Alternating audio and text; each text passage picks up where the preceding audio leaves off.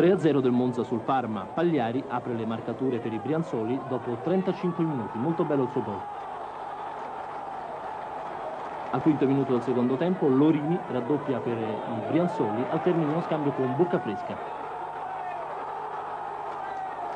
E al diciottesimo sempre del secondo tempo è ancora Bocca Fresca a segnare il gol del 3-0.